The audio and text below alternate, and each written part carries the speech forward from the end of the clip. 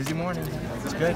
You guys enjoying the morning so far? Oh yeah, it's great. Cool. All right. I'm going to take you through and talk about what's new. Uh, we'll go through, I'll do a quick little demo on resist spray. There'll be a lot of samples that you can do feel-o-vision with. Yeah. So I encourage you to hold it up in front of your camera and be like, oh, yeah. Because we're going to talk about what's new. There's some great new stuff in Distress. First thing up, of course, are 12 new colors of Distress Oxide. And here they are. And this makes me really happy because uh, you know, Distress Oxides have just become so popular that when I did Facebook Live, people didn't even care about the colors. They were just like, oh, new inks, great, when are they shipping? I'm like, well, no, let me tell you what the colors are. Like, no, we just want more colors. We don't care what they are. And that's really awesome to have uh, that kind of support for a product because oxides have been a really great new medium, something fun for people to work with. But there is a method to how I release the colors, so I'll just quickly go through them. So Tattered Rose, that is the new pink, and of course you can see the existing colors between Worn Lipstick, uh, Picked Raspberry, Abandoned Coral. Having something really light and pale is really going to be a great introduction to Oxide.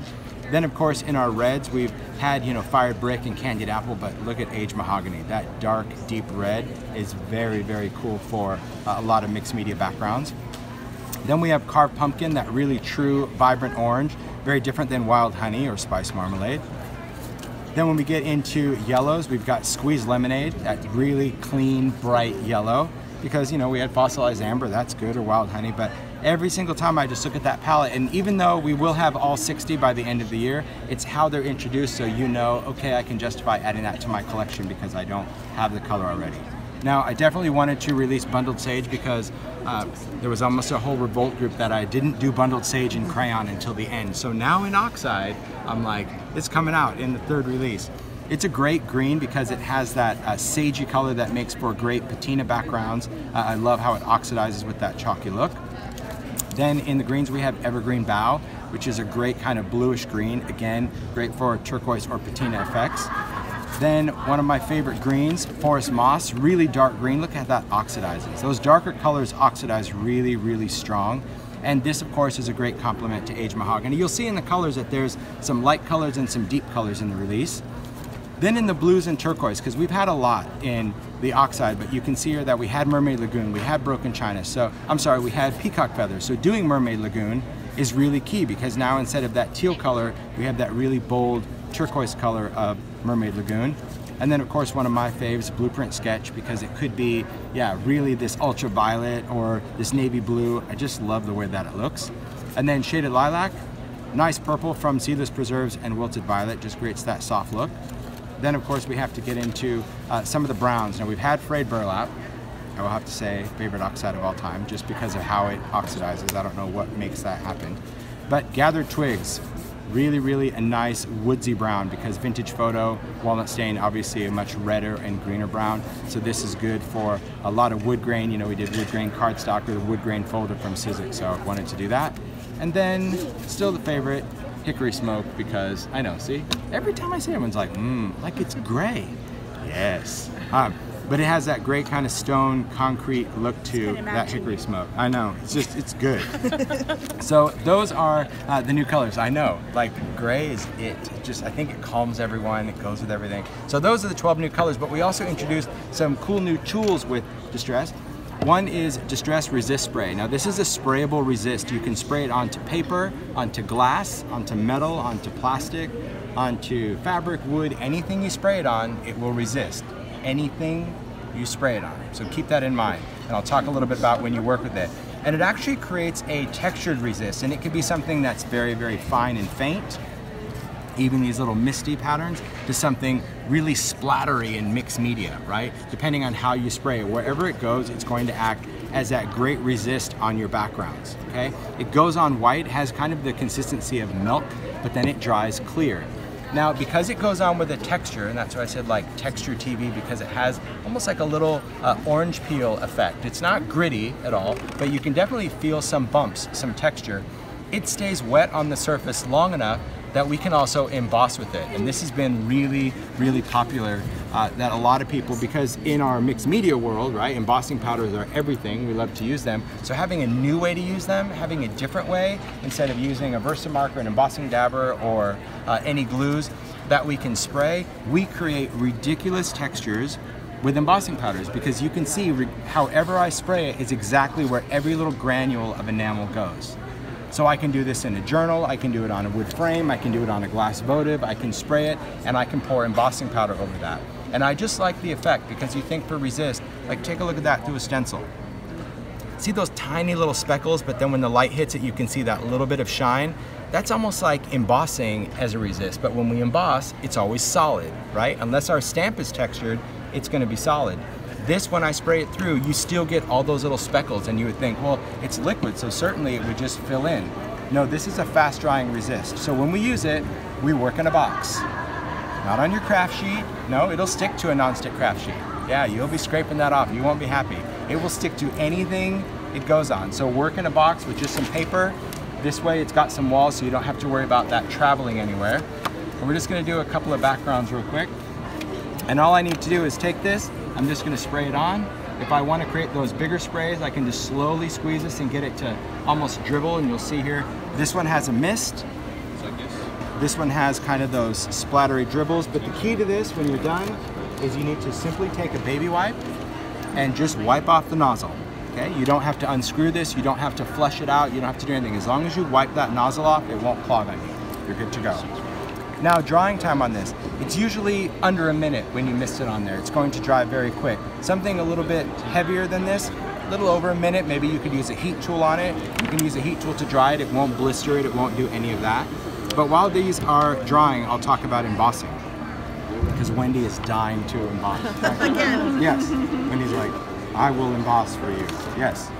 So if I'm going to emboss, I'll work with a stencil. Now, if you're going to use a stencil, because you can use your stencils, right? You have to have a few things ready. Yeah. Whatever powder you're going to use, whatever embossing powder, any embossing powder you want, embossing glitter, it doesn't matter. Ready, open. Whatever surface you're going to pour it on, in other words, once we start spraying, you don't have time to look for anything. And then you're going to have a container of water, just regular water, all right? Because what I need to do is once I put this on, I'll use this cleaner stencil, okay?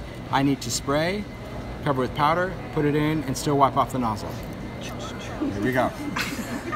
Yeah, it's, it's not as freaky as you think it actually works. So I've got my stencil in the box. Can you guys see it? Cool. Now I'm just gonna go in, I'm just gonna miss that, wipe off the nozzle, pick up the stencil, put it in water because it's water based. You can see that white little ring. Pick up my tag, pick up my powder, and pour it over the top. I feel like there should have been a little clock ticking down how many seconds. It could happen, yeah. So then I've got that great thing. And you can see that how I sprayed, I don't know if you paid attention, but I sprayed really heavy here, and then I just kind of let it mist out. So even my embossing powder replicates that. That's what's so cool about this. It's not getting that big solid mass every time.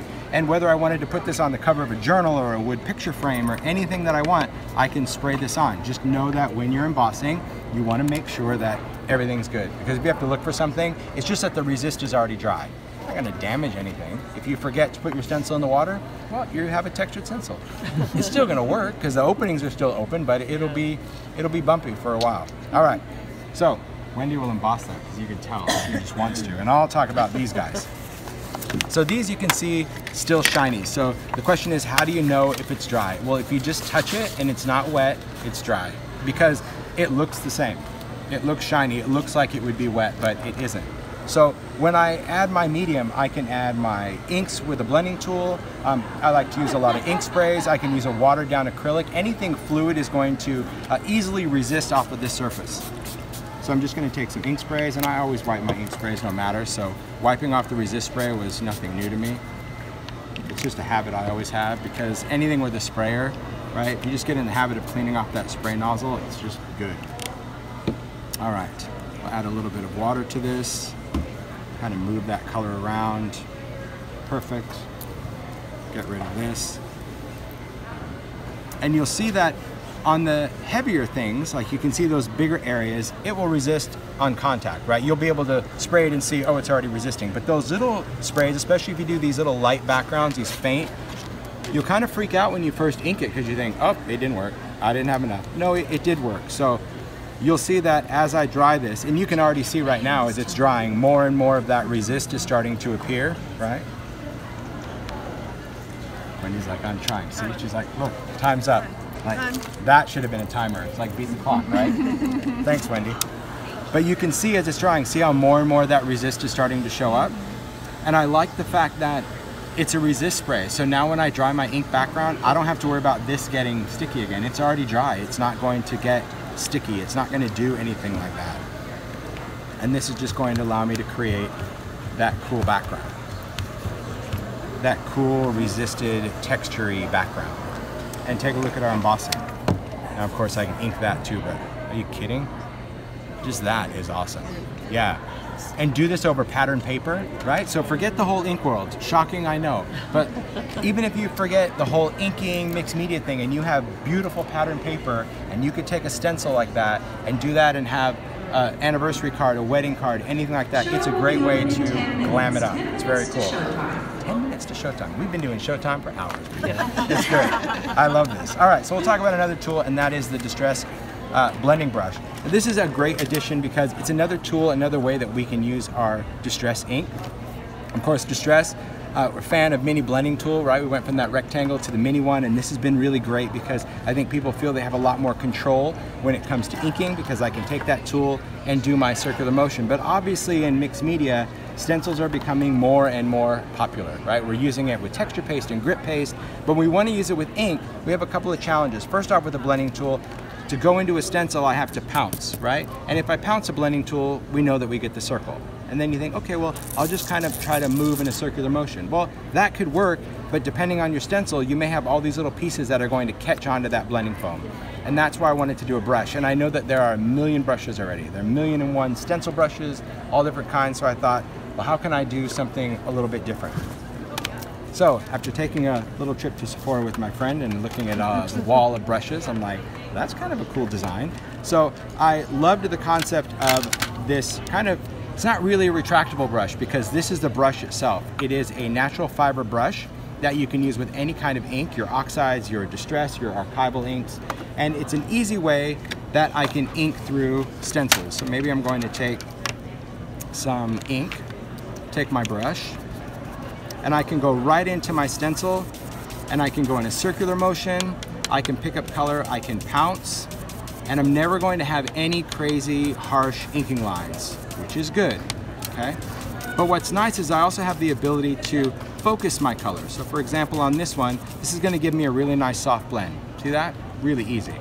But let's say I wanted to add some accent, some other detail. Now, if I'm going into another blue, I would just use this. If I wanted to uh, change I can wipe this off on a baby wipe, it would clean up, but I like to have a dedicated blending brush. Now seven of them fit in the mini distress tin by design. Um, red, orange, yellow, green, blue, purple, and brown. But when you work with this, if you wanted to add some different colors, so here we're gonna go into a little bit of purple. If I don't want to ink the whole area, this gives me the ability to slide this up, okay? Because these brushes, the way they work is they are designed to flare out. That's why I did these large bristles, so I can ink a large area.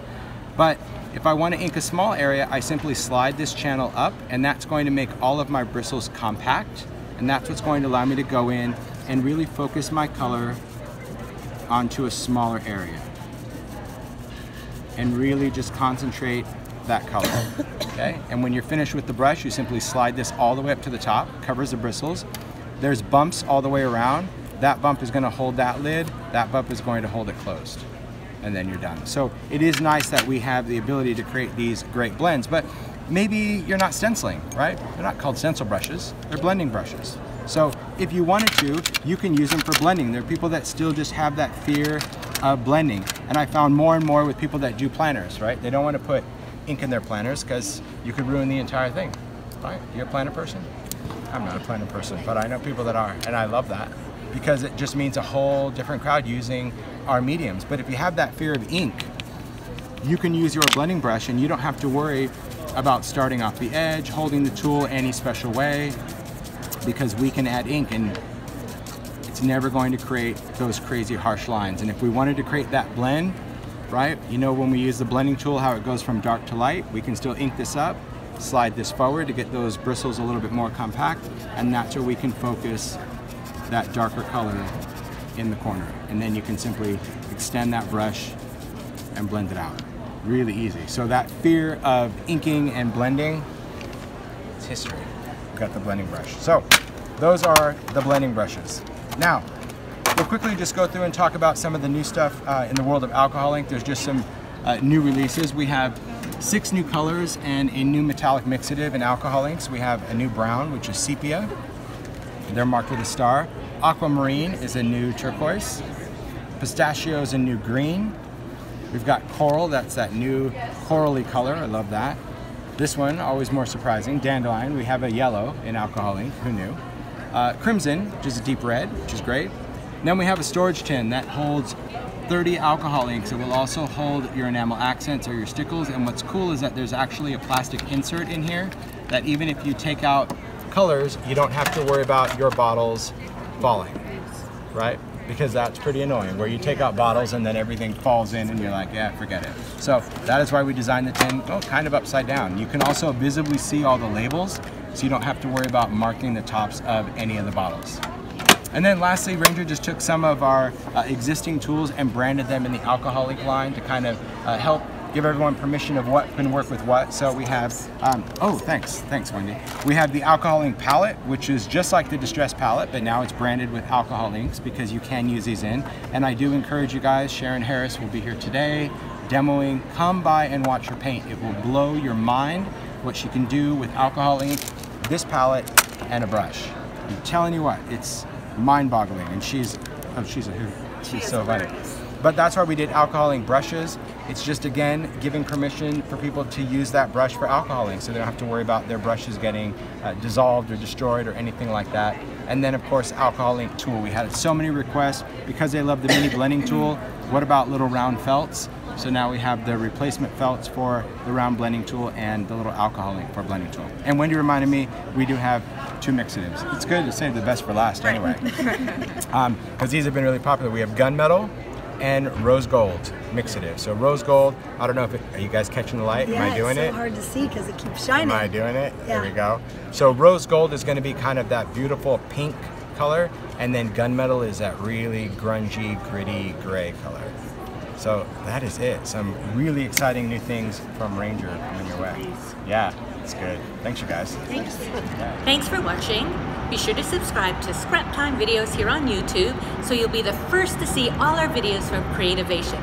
And follow us on Instagram at Scrap Time Photos to see photos straight off the show floor.